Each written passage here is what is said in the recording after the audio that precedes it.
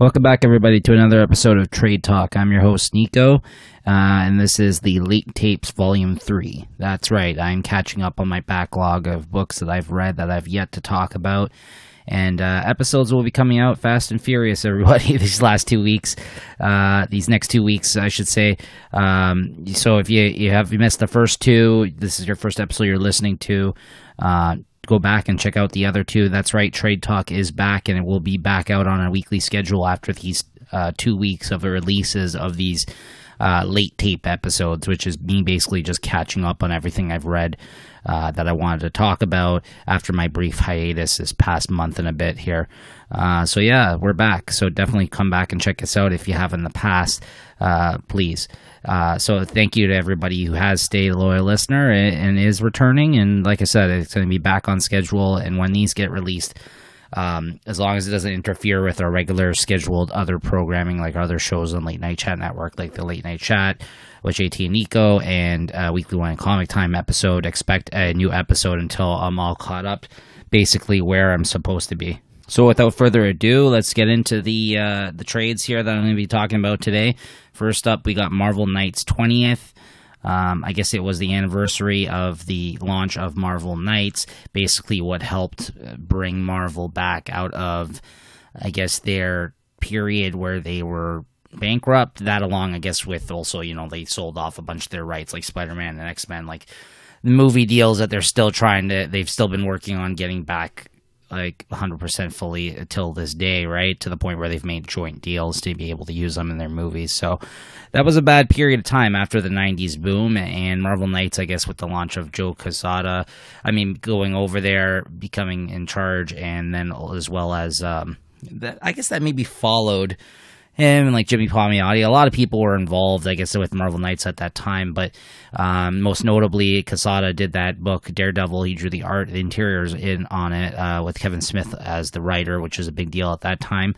Uh, again, bringing somebody that was mostly known, uh, known in geek culture, but also as well as uh, a movie director to come and write a book. I guess it was not really done like that back then, as it is uh, now, where novelists and and like yeah, people like write prose and uh, and and and people that write comedies and all this kind of stuff are all coming out of movies, come out the woodworks, and and given these opportunities to uh, to write their stories, right? So, uh, you know, J.J. Abrams' son. so, anyways, um, yeah, Marvel Knights 20th was uh, not good. it was written by, uh, you know, I guess they kind of wanted to do something in that same vein of like the characters that were popular at that time. And, you know, of course, Bendis' Daredevil followed in the footsteps of the Quesada run and all that kind of stuff. Some great stuff came out around that time, but and this was them pairing up maybe some of their good writers that they currently have, some of the, uh, you know, the younger guys that are kind of writing a lot of the popular Marvel books right now. Uh, for instance, Donny Cates, he wrote the first issue. Uh, Travel Foreman penciled it, and he did a good job. And then you got two, number two and five, you got Matthew Ro- Rosenberg and Donny Cates writing the story on those. Although Matthew Rosenberg uh, is um, got these uh, wrote the script, and Niko Henrichon on art. And then you got Tini Howard and Donny Cates, Vita Ayala and Donny Cates, and Donny Cates on number six, issue six with Kim Jacinto, Travel Foreman. Uh, and Joshua Cassara did our number four. Damian Cassara did number three. So yeah, there's a lot of talented people on this book, but I'm not usually a fan of when they mix up the writing duties, um, and even the varying different art styles issue issue. Sometimes it works. Uh, most of the time for me, it doesn't. I think it's too many cooks in the kitchen. I don't love uh, you know, if you really love what someone is doing in the first issue and then they're gone in the second issue, there's no presence of their writing or skill as a writer or their dialogue or anything like that, and you got somebody else doing it. It's kind of hard to keep that consistency, and that's what I thought this kind of series was. It was a bit of a mess, to be honest with you. I just uh, I didn't like the uh, premise of it all that much basically it's like a bunch of the characters that you would have known from the Marvel Knights era or like or just popular Marvel characters that have all forgotten who they are. And uh, the Punisher of all people who's the cop has taken uh, advice from uh, um, what do you call it? Um, uh, the Hulk and uh, or I guess Bruce Banner. And like he doesn't like he know he he's aware of what's going on for whatever reason he was put in motion to be the guy that kind of that does know what's happening and uh, and uh, is helping the Punisher uh, round people up to uh, get their memory back and remind them of who they are. And they start out with Daredevil at the start first. So the Punisher is taking uh, advice from Bruce Banner, and basically, uh, as he's a cop, he's going around rounding all these guys up, and he's got a list of different heroes that they're trying to bring back, like Elektra and. Uh, who else do they end up bringing back towards the end here? Elektra. Oh, Doom's in this. Doom and Kingpin are the bad guys. Doom like knows everything that's going on and you know he talks to Kingpin and basically gets Kingpin working for him, and uh, you know I think they go against each other towards the end of this. They got they get a, a little bit of odds themselves as well. Um, yeah, oh yeah, they do. Um, and uh, Black Panther, I think it was in this. Uh, yeah, it's it's just a lot of reference to a lot of people, and just it's interesting to see kind of where they're at in their lives now that they've forgotten, and how it's slowly coming back to them, and they kind of get brought back together at the end of this, and all of them, I guess, now are aware of who they are, and they have to get to the bottom as to why this happened exactly. And you know, it just was kind of bland for me. Like I was just like, ah, okay, that's that's fine. Like it was not it, it started off way more interesting than I thought the execution was as it like kind of continued into the miniseries. I mean, it was just kind of dumb from the dumb. I thought I just yeah, they gave you an explanation as to what had happened, and there were certain elements um, to it that were interesting, but for the most part, it was just okay. And by the time they kind of revealed everything, I was kind of over it as an idea altogether. This series, just because, like I said, it was a little bit inconsistent throughout. It was okay, um, but I would say you could skip this. It wasn't my favorite thing I've read. I was more excited going into it, um, and definitely didn't pay off for me. Um, but yeah, I mean, if you're a fan of this characters, it, it's kind of almost like a what if type thing, where uh, or Elseworlds type thing, where not everybody's kind of um, who they normally are, but it's only because of a reason as to why they were put in this position, right? Um, so there's reasoning as to why that is. This isn't just something that takes place, you know, outside of continuity. They're trying to make it so it is still, but there was a reasoning as to why this happened. But it's still uh, because there's so many different voices and writing styles in this, and and people maybe taking cracks at these characters for the first time. It doesn't read that well to me. Um, so yeah, so that was Marvel Knights 20th. Next up, we got uh, Clue Candlestick. This is um, by IDW. Uh, I guess they have the. Actually, I've seen that they've done Clue comics before. Yeah. Um, the reason I checked this out, I've never checked out a Clue comic before. I'm a fan of the board game. I'm a fan of the older movie. Um, this was like an indie artist Dash Shaw that was doing this. I actually haven't read anything by Dash Shaw. Like I, have I've seen his books before. I've heard him talked about. I thought it was interesting that an artist of his kind of like that's usually known for doing uh, indie type stuff and very abstract like artwork like looking like to me. And um, it just thought it was an interesting choice. This might be something that he's really into because why else would he take up this job right? Um, you know, I, I didn't think they, you know, obviously there's money involved in these things, but I'm like, really? Like he's he's signing up this guy who sells, you know, usually does like original graphic novels and is not known like he's not like a superhero artist by any means and like and uh not that this is superhero but and he's he wants to do a clue book. I was like, "Okay, I like that." Sometimes when people really have a passion for something, they can bring in um or like sometimes things get pitched and for whatever reason the person's really into it or something they want to take a crack at. Usually that's kind of really interesting. So even though I'm not uh, that familiar with Dash Shaw's work uh, from reading it, um, I, I was like, okay, I like the I like the conceit of that. I was like, that's an interesting idea to bring him on and do something like this, a clue book and I like Clue enough, and I was like, okay, maybe it's just gonna be like unfold like a mystery, like a who done it, classic who done it type thing, like Knives Out style. And I was like, okay, I'll, I'll check it out. Um, I didn't end up liking it. Sorry, unfortunately, you're two for two today. I usually, you know, I don't love everything. Usually, I, I try to be positive about stuff, and but I'm very truthful with you guys, and uh, you know, that's that's how it goes. Um, you're not gonna love everything. Uh, I think was about three issues that they collected in this Clue Candlestick. Uh, let me just double check. Yeah, it, three issues. But I think the size of the issues were maybe a little bit bigger than usual. Maybe not, actually. They may just be your regular 20 size. Here's the thing I thought this was too short.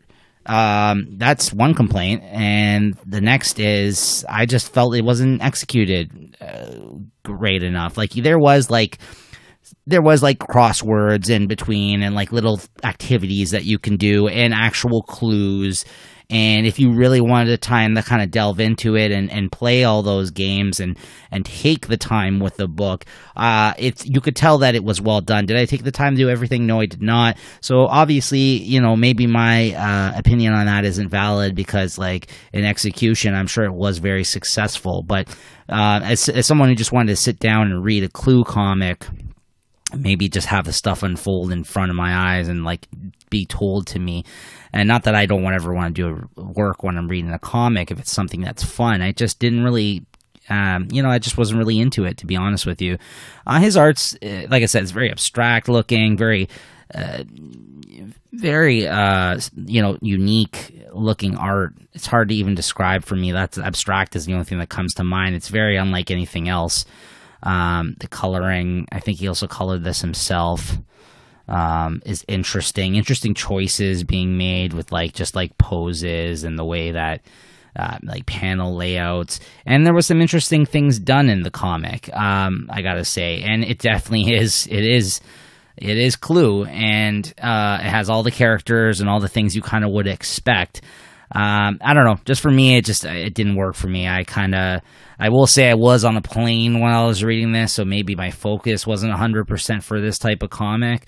Uh, but unless you're like a huge Dash Shaw fan, which again, I'm not, uh, admittingly, not that I don't like the man's work, I just really haven't read it, and this may not be the best representation of his work because he is doing somebody else's property.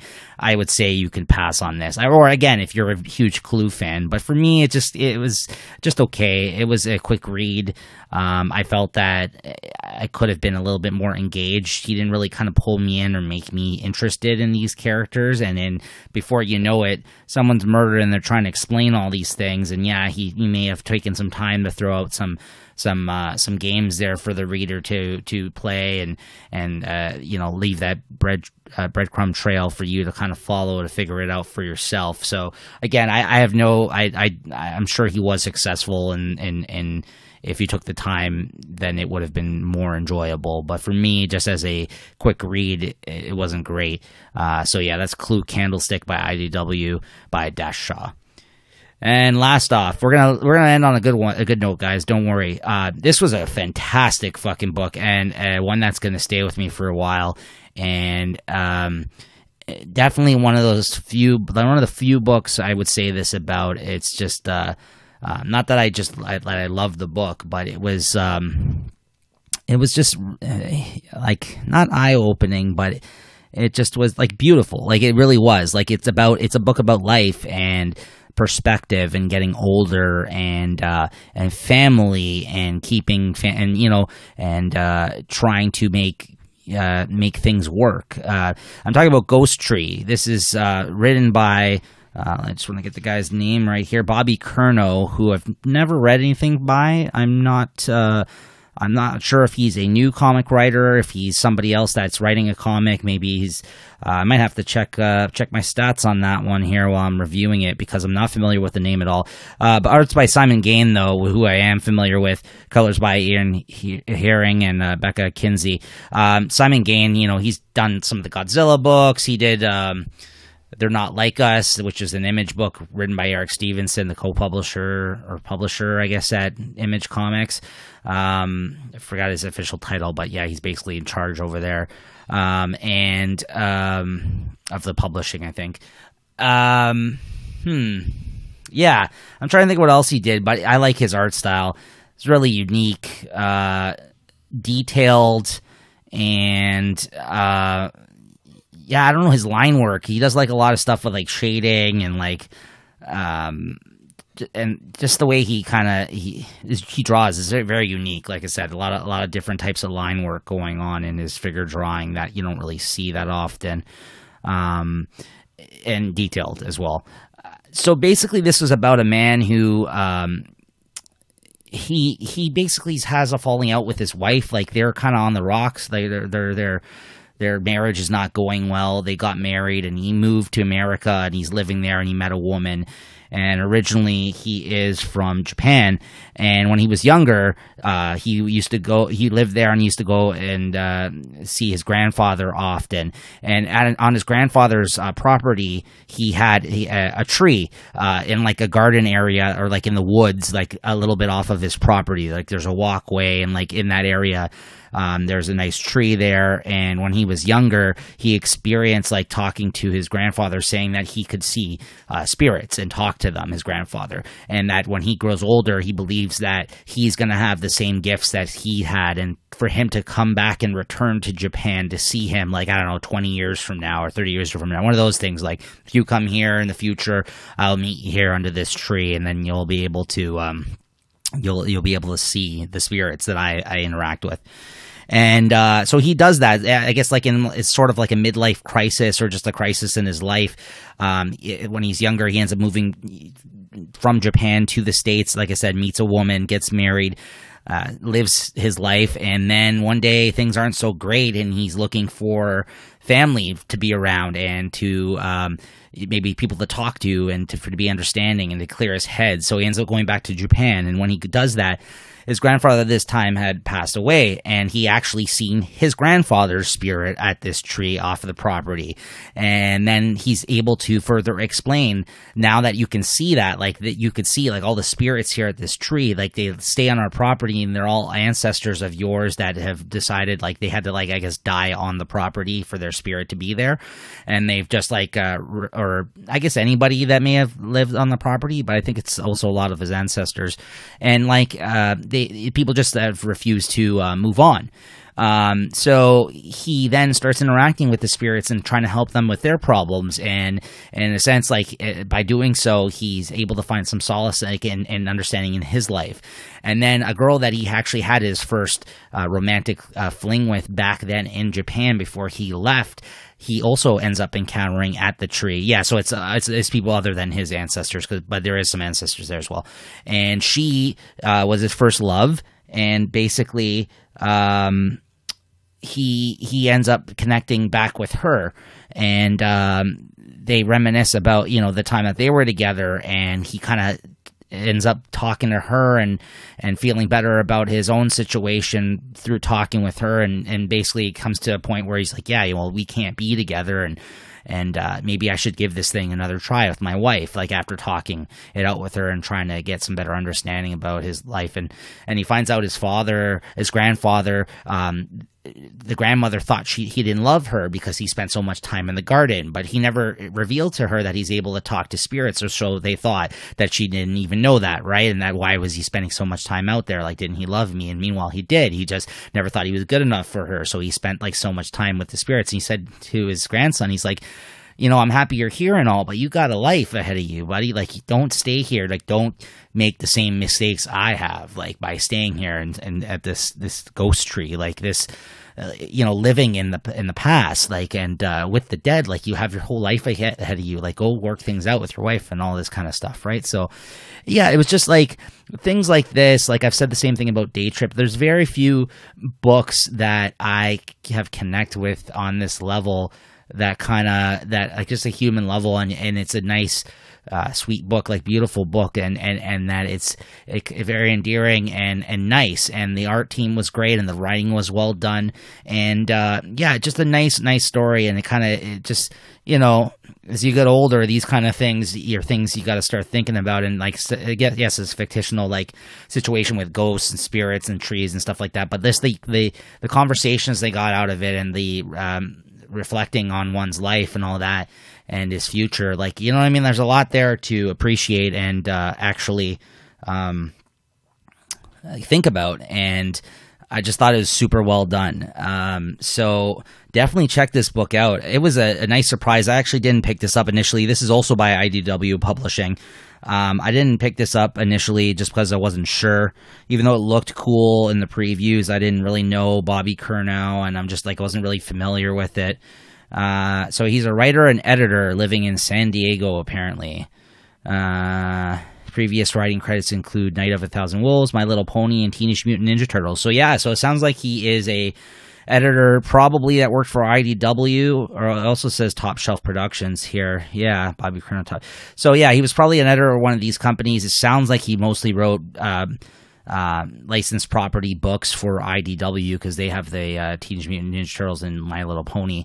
Uh, but this, he knocked this out of the park, man. This is a great, and it's one volume. Like this is just like a little story. It's like five or six issues, stands alone on its own. This is all you need to pick up. Beautiful, beautiful story, and just very well done, and definitely definitely worth your time. So check this out, Ghost Tree. Uh, what a what an unexpected treat. I'm glad I heard another podcast talk about it, and I kind of figured, you know what, I'll give it a whirl. I'll pick it up, try it out because it it sounded really cool, and it was Ghost Tree. Uh, great book, guys. Check it out. And that will do it for today, guys. I'll see you guys probably in the next day or two if you're listening to these as these come out. Uh, like I mentioned, as long as it doesn't interfere with our regular uh, schedule of shows coming out, uh, you'll probably see three or four of these leading into the weekend, and, and, including the weekend coming out for the next week or two till I'm all caught up. That's about six or several episodes. Um, you know, counting if I was actually releasing them out on time weekly, because and that's how many books I've read that I need to talk about. So I got to get through this backlog, guys. All right, I'll see you guys next time. Thanks for tuning in.